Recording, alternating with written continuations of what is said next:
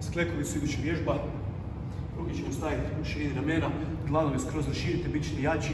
Isto tako probajte dlan za šarafit u pod kao da želite nekakav šaraf za šarafit. Dobro, tako će vam lakat ići uz tijelo i tako ćete očuvati i rame i lakat.